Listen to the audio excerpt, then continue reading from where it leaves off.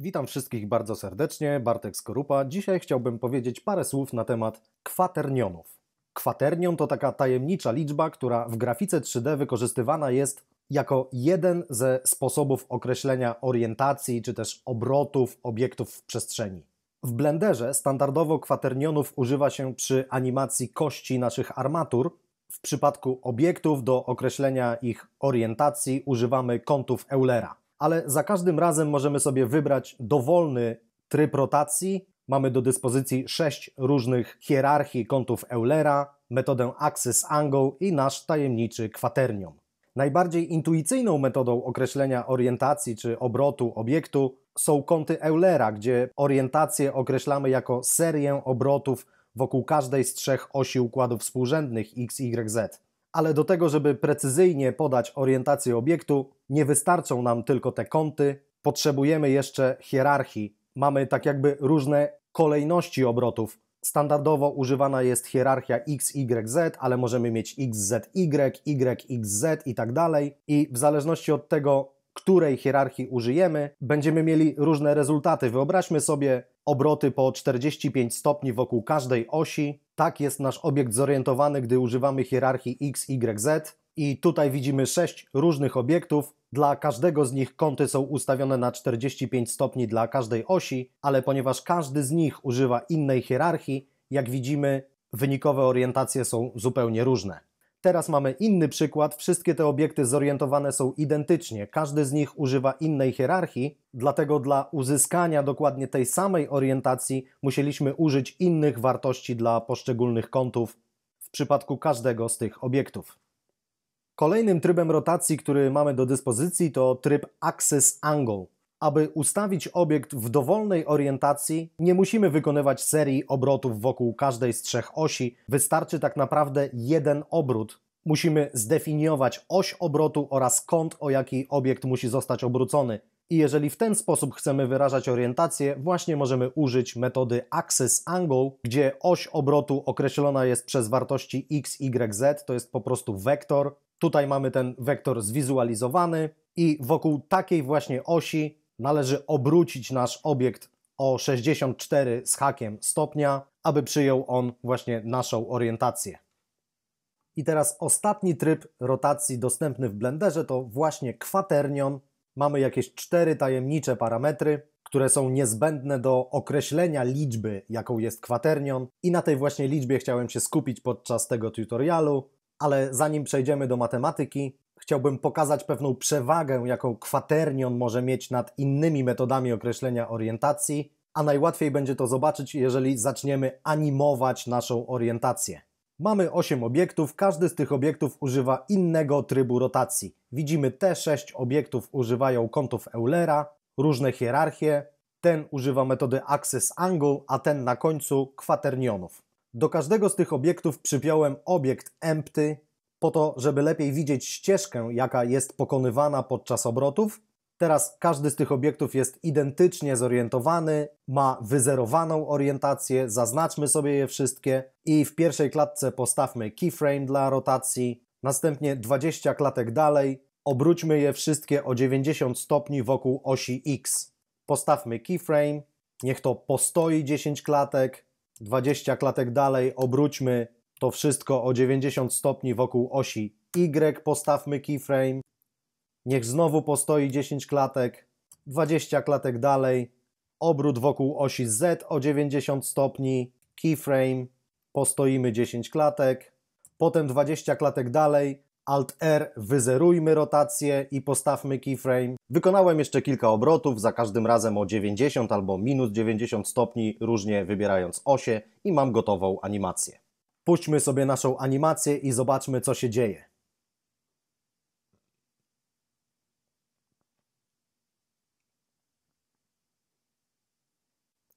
Pewnie zauważyliście, że w niektórych miejscach nasze obiekty empty poruszają się po jakichś dziwnych ścieżkach. Aby lepiej to zobrazować, zaznaczmy sobie je wszystkie, naciśnijmy T i przeliczmy ścieżki, jakie te obiekty pokonują. Tutaj mamy Animation, Motion Path, Calculate, ten zakres jest wystarczający, OK. I spójrzmy na animację jeszcze raz.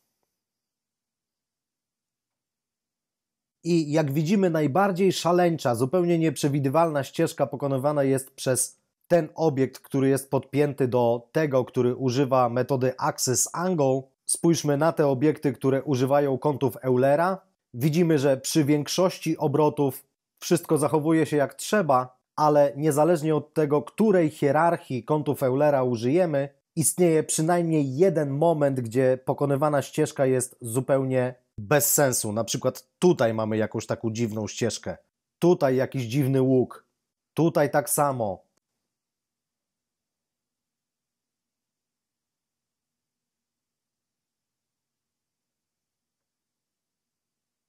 I widzimy, że jedyny obiekt, który porusza się po jakichś rozsądnych trajektoriach, to jest ten, który jest przypięty do obiektu, który używa kwaternionów jako sposobu określenia orientacji. Przyjrzyjmy się temu jeszcze raz.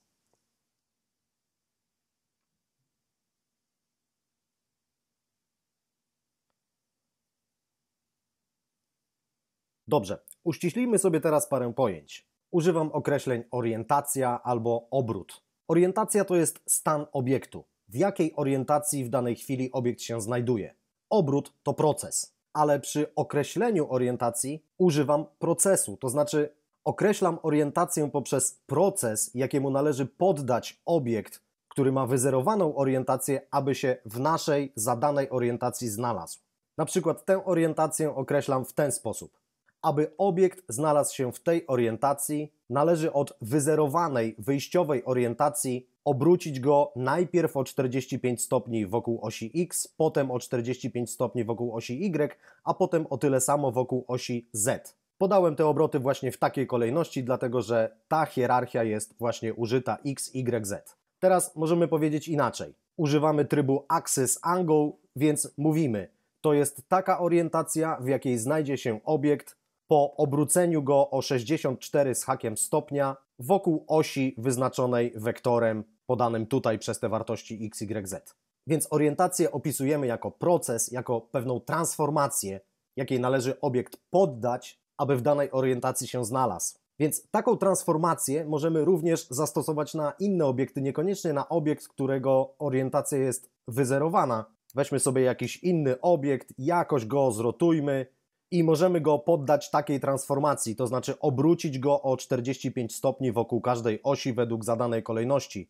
Czyli dajemy rx45, ry45, rz45. Po takiej transformacji nasz obiekt przyjął taką orientację, co oznacza, że aby obiekt znalazł się w tej orientacji, w tym położeniu, musielibyśmy obiekt o wyzerowanej orientacji obrócić o tyle wokół osi X, o tyle wokół osi Y i tyle wokół osi Z. Dobrze, jeżeli rotację czy orientację będziemy wyrażać za pomocą kwaternionów, też możemy powiedzieć, że jest tutaj opisany jakiś proces, ale jaki to proces? Mówimy o rotacji, mówimy o orientacji w przestrzeni, a tutaj nie mamy podanego żadnego kąta. Są jakieś parametry i nie do końca wiadomo, co z nimi zrobić. Może inaczej, tak naprawdę dokładnie wiadomo, co należy z nimi zrobić, tylko ja jeszcze tego nie wyjaśniłem. A transformacje kwaternionów są dużo prostsze niż transformacje wykonywane za pomocą obrotów wokół jakiejś osi. Orientacja tego obiektu określona jest takim kwaternionem, który jest odpowiednikiem kątów Eulera x, y, z 45 stopni dla każdej z osi. I załóżmy, że jakiś obiekt będziemy chcieli poddać takiej transformacji. Ja sobie ten obiekt zduplikuję i przesunę go. Przestawmy jego tryb rotacji na quaternion i ten kwaternion będzie naszą transformacją. Teraz ten obiekt w jakiś sposób sobie obrócę, może jakoś tak. On ma taką orientację, jeżeli wyrazimy to kwaternionem, to taki mamy kwaternion. I ten obiekt będę chciał poddać transformacji, która jest określona kwaternionem wyznaczającym orientację tego obiektu. I teraz może, żeby mieć cały czas dostęp do tej wyjściowej orientacji, zduplikuję sobie ten obiekt i gdzieś tutaj przesunę i tego obiektu nie będę ruszał, a ten obiekt poddam transformacji. I teraz, żeby ten kwaternion poddać transformacji określonej tym kwaternionem, operacja, jakiej trzeba dokonać, to jest bierzemy kwaternion transformacji i przemnażamy go po prostu przez kwaternion, który ma ulec tej transformacji. Nie będę w tej chwili wnikał, w jaki sposób kwaterniony mnoży się przez siebie. Po prostu wykonam tą operację i zobaczymy, co się stanie. A do tego skorzystam z blenderowej konsoli Pythona. W konsoli mam spredefiniowane pewne zmienne, na przykład duże C to jest kontekst, a kontekst to jest aktualny stan naszego pliku, jakie obiekty mamy w scenie, które są zaznaczone, który obiekt jest aktywny i tak dalej. Więc powiedzmy, jeżeli chcemy dostać się do tego obiektu, możemy tutaj wpisać duże c.object, enter i w ten sposób dostałem się do tego obiektu. Teraz interesuje mnie wartość tego kwaterniona. Ja bym chciał zapisać go w postaci zmiennej. To będzie zmienna q i napiszę q równa się duże c object rotation quaternion enter. Jak teraz wpiszę q, nacisnę enter, to dostaliśmy wartość tego kwaterniona. Zobaczmy, te liczby zgadzają się z tymi. Ten kwaternion chcę poddać transformacji określonej przez ten kwaternion, kwaternion określający orientację tego obiektu, więc ten również chciałbym sobie zapisać w postaci jakiejś zmiennej. Załóżmy, że to będzie zmienna t, bo to jest transformacja i w tej chwili aktywnym obiektem jest ten obiekt, więc znowu sobie napiszę duże c.object rotation quaternion ciach t i widzimy, że pod zmienną t kryje się ten kwaternion, znowu te wartości zgadzają się z tymi. Mamy Q, kwaternion, który chcemy poddać transformacji i mamy T, kwaternion, który określa tę transformację. Więc żeby to zrobić, musimy T przemnożyć przez Q. W przypadku mnożenia kwaternionów kolejność jest ważna. T razy Q nie jest równe Q razy T. Więc napiszemy sobie T razy Q, Enter i mamy jakiś inny kwaternion. I chciałbym w tej chwili ustawić ten obiekt w orientacji określonej takim właśnie kwaternionem. W tej chwili ten obiekt jest aktywny, więc mogę powiedzieć c.object.rotation quaternion równa się t razy q enter i gotowe. Widzimy, że ten obiekt się obrócił. Taka była jego wyjściowa orientacja, taką orientację przyjął teraz. Transformacja, której poddaliśmy ten obiekt, określona jest takim kwaternionem, a ten kwaternion jest odpowiednikiem kątów Eulera 45 stopni dla każdej osi przy kolejności x, y, z. Więc jeżeli w tej chwili ten obiekt, który jest ustawiony tak, jak ten był przed transformacją, obrócilibyśmy właśnie w ten sposób o takie kąty, to powinien on przyjąć dokładnie taką orientację jak ten. Spróbujmy to zrobić. Zaznaczmy sobie ten obiekt RX45, RY45, RZ45 i widzimy, że przyjął on dokładnie taką samą orientację jak ten. Proszę bardzo, porównajmy sobie te wartości. Wszystko się zgadza. Ok, teraz wyliczymy sobie coś innego. Mamy taki obiekt i taki obiekt, ten ma taką orientację, ten ma taką orientację. I teraz chciałbym znaleźć transformację, dzięki której obiekt o tej orientacji przyjmie tę orientację. Szukamy kwaternionu transformacji. Z poprzedniego przykładu wyszedł nam pewien wzór t razy q równa się r. t to jest jakiś kwaternion, q to jest jakiś kwaternion, wynikiem takiego mnożenia jest również kwaternion. q to jest początkowa orientacja, t to jest transformacja, obrót, a r to jest rezultat kwaternion będący wynikiem obrotu kwaterniona Q o kwaternion T. W naszym przypadku mamy początkową orientację i końcową orientację, a szukamy transformacji. W związku z tym znamy Q, znamy R, a poszukujemy T. Kwaternion T jest bardzo łatwy do wyliczenia z tego równania. Wystarczy obie strony równania podzielić przez Q, wtedy nam wyjdzie T równa się R podzielić przez Q. To dzielenie, ten iloraz zapiszę teraz w nieco innej formie. Napiszę T równa się R razy Q do potęgi minus pierwszej. Tutaj nie ma żadnej magii, to są zwykłe działania w zwykłej algebrze. Wszyscy doskonale wiemy, co to znaczy Q podniesione do potęgi minus pierwszej. Liczba a podniesiona do potęgi minus pierwszej jest równa 1 dzielone przez a więc ten zapis to jest dokładnie to samo, co to. I teraz ja zapisałem to równanie w tej postaci, a nie w tej postaci, ponieważ operacji dzielenia generalnie na kwaternionach nie ma. W algebrze kwaternionów dzielenia na wprost się nie wykonuje. To, co się robi, to wyznacza się kwaternion odwrotny do danego kwaterniona i przez ten kwaternion odwrotny mnoży się to, co jest przed znakiem mnożenia. A kwaternion odwrotny do danego kwaterniona, jeżeli założymy, że Q ma parametry W, X, Y, Z, to kwaternion odwrotny do takiego ma parametry W, minus X, minus Y, minus Z. Więc wiemy, co to jest kwaternion odwrotny. Wyprowadziliśmy sobie wzór na T. To jest kwaternion wynikowy pomnożony przez odwrotność kwaternionu początkowego i możemy sobie taką operację wykonać w pytonowej konsoli Blendera. Kwaternion początkowy zapiszę w zmiennej Q, to jest kwaternion tego obiektu, on w tej chwili jest aktywny, więc napiszemy c.object.rotation quaternion i to chcemy zapisać w zmiennej Q, więc na początku damy Q równa się. Kwaternion końcowy zapiszę w zmiennej R, więc dam strzałkę w górę i zmienię tylko tutaj Q na R i mam określone moje zmienne. Teraz kwaternion transformacji określę jako T i napiszę T równa się R razy odwrotność Q, a odwrotność Q w pytonie to jest Q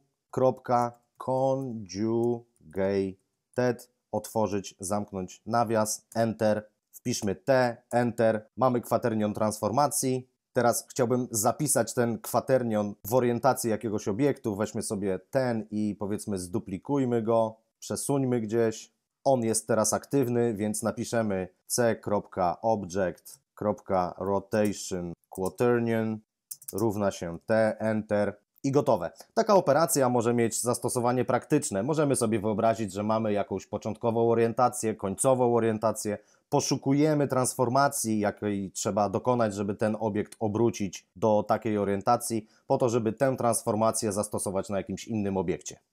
Teraz jeszcze coś sobie obliczymy. Powiedzmy, usunę te dwa obiekty, ten sobie gdzieś przesunę. W nim zapisana jest jakaś transformacja. Dodam do sceny obiekt empty, powiedzmy sphere, ale nie chcę takiej wielkiej sfery. Zmniejszmy size na 0.025. Taki malutki punkcik mamy i gdzieś go przesuńmy, nieważne, może tutaj. Zmieńmy pivot na kursor 3D, to naciśniemy kropkę Tutaj mamy to zmienione, a kursor siedzi dokładnie w początku układów współrzędnych. Teraz, jeżeli będziemy wykonywać jakieś obroty, to one są wykonywane wokół kursora, wokół początku układów współrzędnych. I teraz chciałbym ten obiekt, ten punkt obrócić zgodnie z tą transformacją i chciałbym go obrócić wokół początku układów współrzędnych. Dzięki kwaternionom jestem w stanie wyliczyć wynikową pozycję tego punktu. A robimy to w ten sposób. V to będzie nasz wektor, powiedzmy pozycja naszego obiektu empty, T to kwaternion transformacji. Aby wyznaczyć V', czyli wynikową pozycję, należy zrobić coś takiego. Kwaternion T razy wektor V i razy kwaternion T do minus pierwszej. Z tym, że teraz mamy mały problem techniczny, ponieważ taki wektor to jest wektor, który ma tylko trzy elementy. Chciałbym skonstruować z niego kwaternion. Napiszę QV kolejna zmienna i QV to będzie kwaternion, który jako parametr W będzie miał 0, a jako x, y, z będzie miał x, y, z naszego wektora. Więc teraz tu zmienimy V' to jest t razy QV razy odwrotność t. Dobrze, więc wyliczmy sobie to. Najpierw określimy zmienne V równa się w tej chwili nasz obiekt jest zaznaczony, więc damy c.object.location enter v Zobaczmy, dostaliśmy wektor i te wartości zgadzają się z lokacją tego obiektu. Teraz od razu przekształcę go na kwaternion, więc określę zmienną QV i to będzie kwaternion, więc z dużej litery napiszemy quaternion. Otwieramy dwa nawiasy. Jako pierwszy parametr dajemy 0, więc 0.0 przecinek.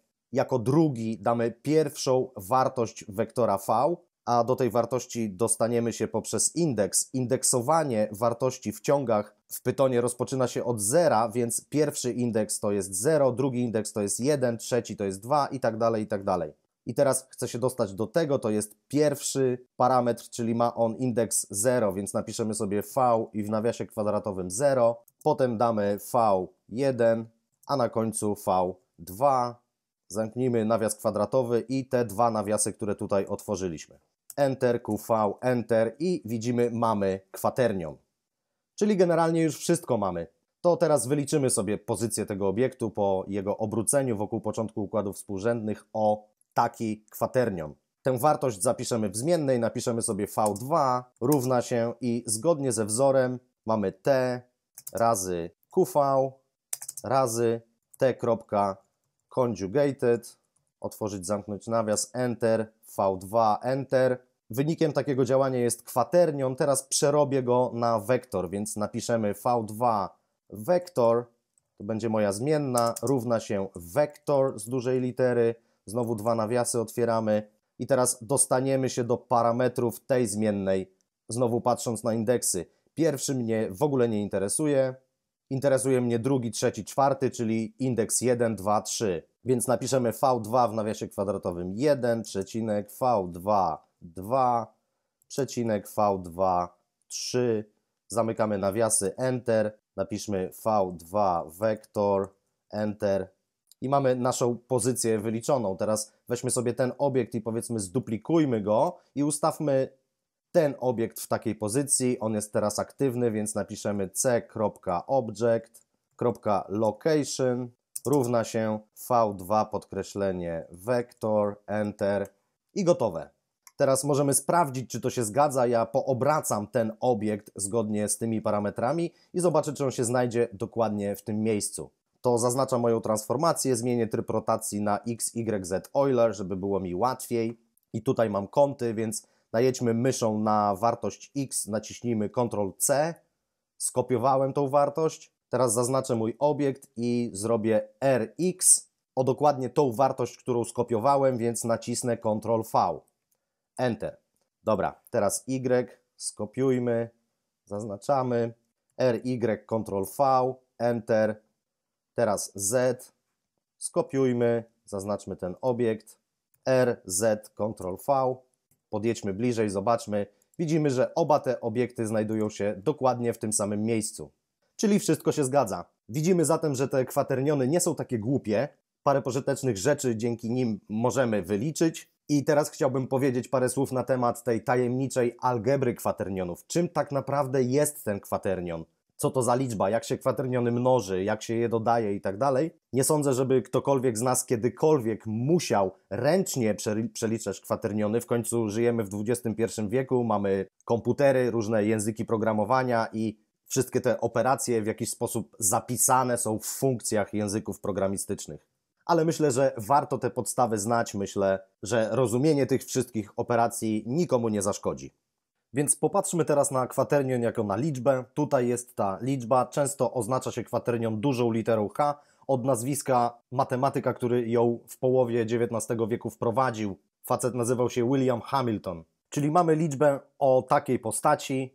Do tego, żeby określić kwaternion, potrzebujemy czterech liczb rzeczywistych w, x, y, z a te liczby i, j, k to są stałe, więc ich nie musimy podawać. Ja użyłem tutaj liter W, X, Y, Z, dlatego że w ten sposób określamy kwaternion w Blenderze, ale często stosuje się inne litery A, B, C, D, nie ma to żadnego znaczenia. I teraz liczby W, X, Y, Z należą do zbioru liczb rzeczywistych, to są jakieś liczby. Natomiast I, J i K to są tak zwane jednostki urojone. I to, co o tych liczbach wiemy, to to, że one sobie nie są równe, i to, że istnieje pewna zależność między nimi i ta zależność jest określona tutaj.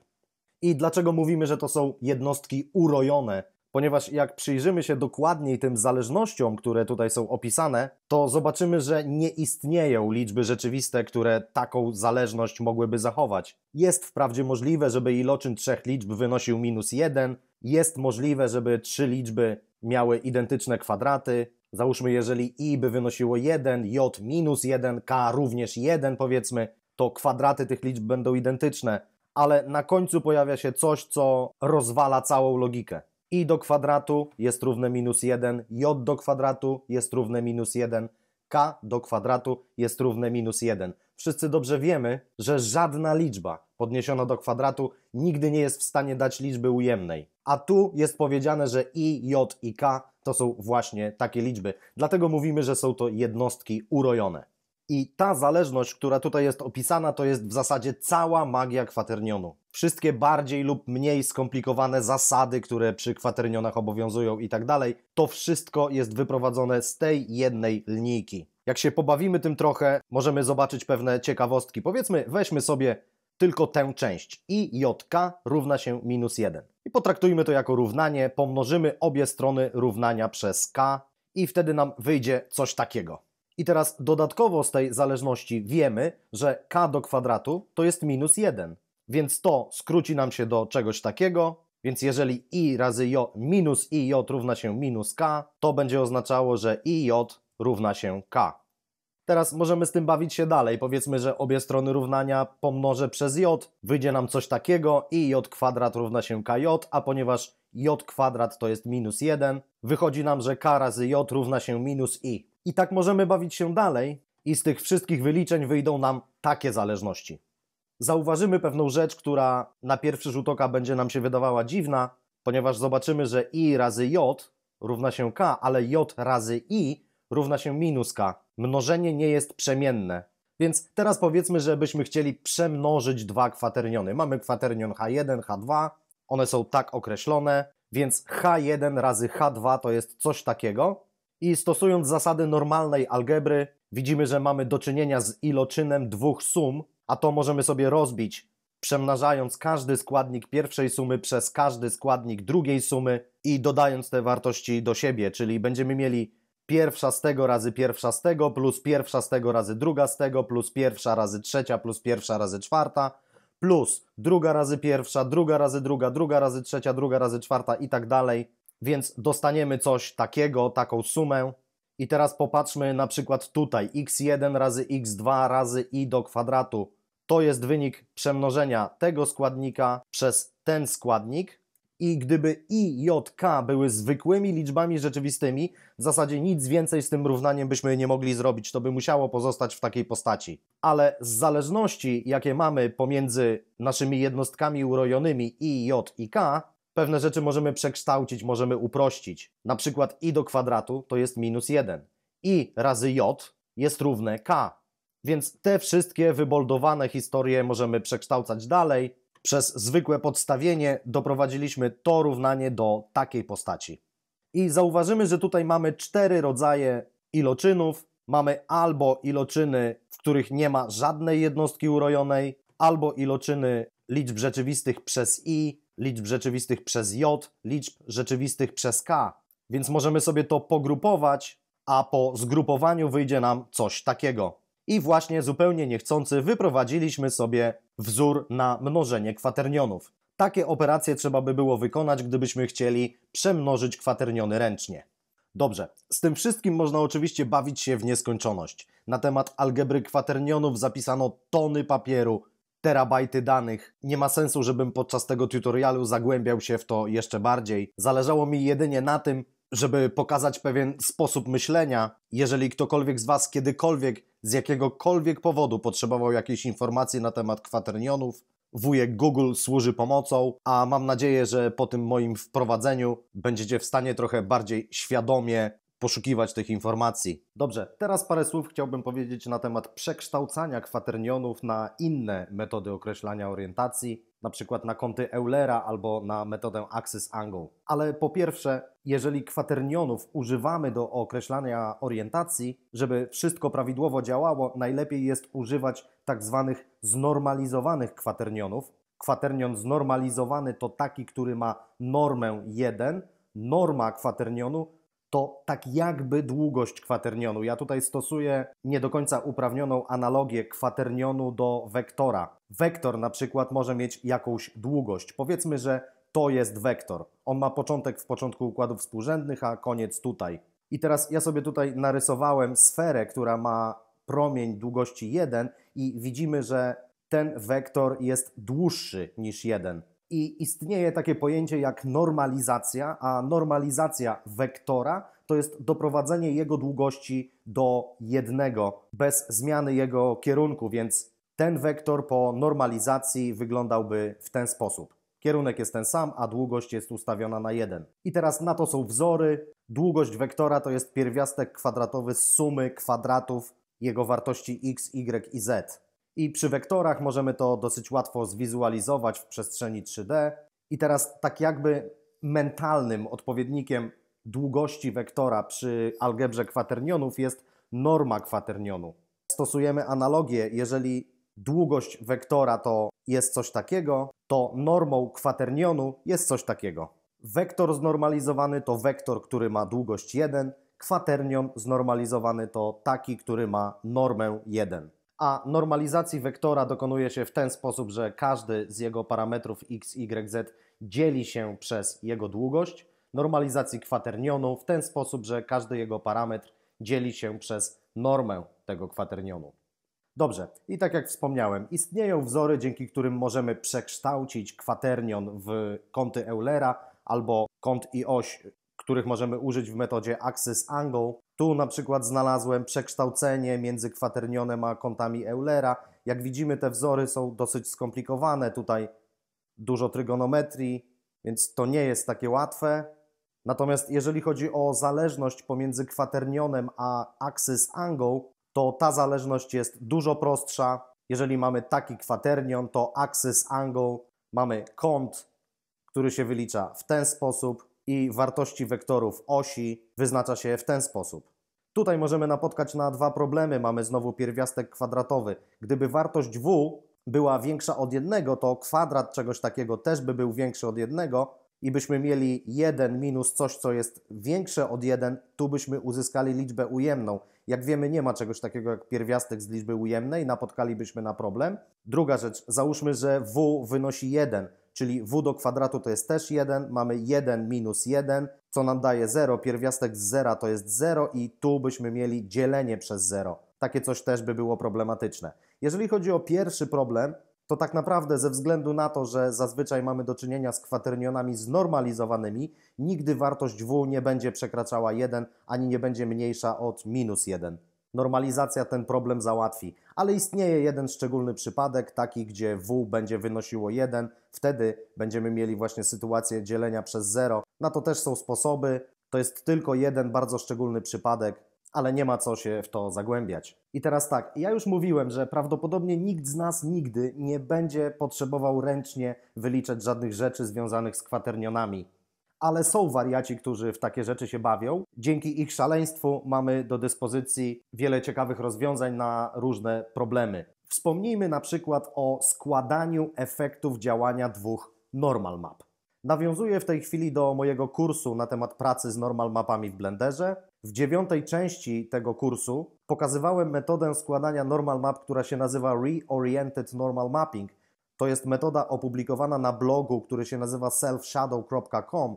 Tutaj są autorzy tej metody i panowie stwierdzili, że najlepszą metodą na to, żeby złożyć efekty działania dwóch normal map, to będzie obrócenie jednej tak jakby o drugą. I ta metoda na blogu w tym artykule jest wyjaśniona. Tutaj detail oriented. I zauważymy, że do tego, żeby wyliczyć wynikową normal mapę, panowie zastosowali właśnie algebrę kwaternionów. Wiemy dobrze, czym jest normal mapa. Normal mapa określa wektor określający orientację tak jakby punktu. Więc powiedzmy, że mamy jedną normal mapę i jakiś punkt tej normal mapy określa wektor, który wygląda w ten sposób. Ten wektor ma takie wartości, i teraz jest druga normal mapa, która w tym samym punkcie wyznacza taki wektor, powiedzmy.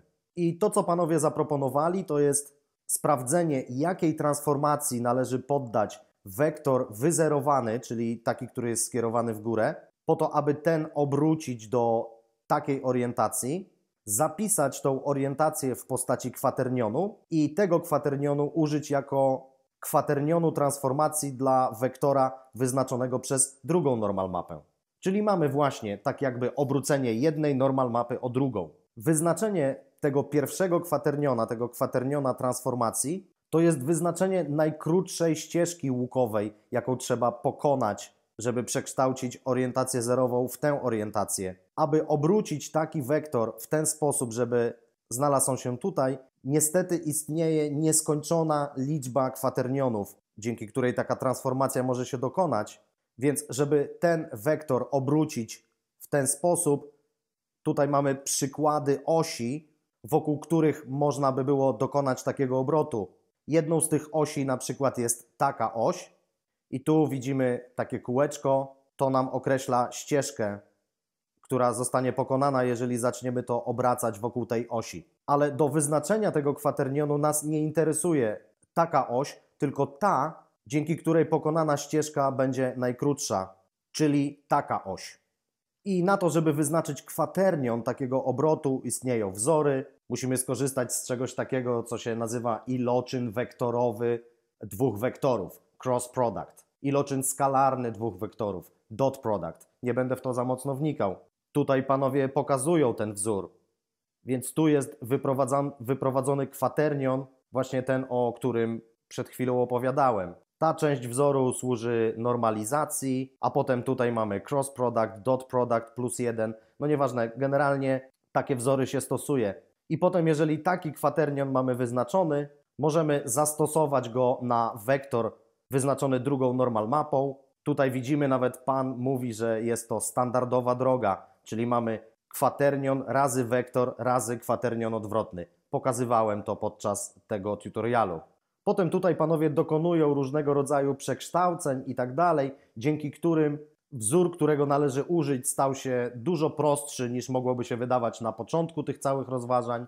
I w dziewiątej części kursu na temat pracy z normal mapami w Blenderze ja pokazałem, jeszcze tu dokonałem pewnych drobnych przekształceń tego wzoru, który panowie wyprowadzili i pokazałem, jak to można zapisać w postaci nodów Skonstruowałem z tego grupę nodów, dzięki której możemy porządnie zmieszać ze sobą efekty działania dwóch normal map, gdzie po prostu podpinamy jedną normal mapę, drugą normal mapę i mamy wynik, który bardzo sympatycznie działa. I to by w sumie było na tyle. Mam nadzieję, że widzicie, że kwaternion nie taki straszny, jak go malują. Da się choć trochę zrozumieć magię, która się za nim kryje, a być może nawet znaleźć jakieś praktyczne zastosowania. Także dziękuję za uwagę i do zobaczenia następnym razem.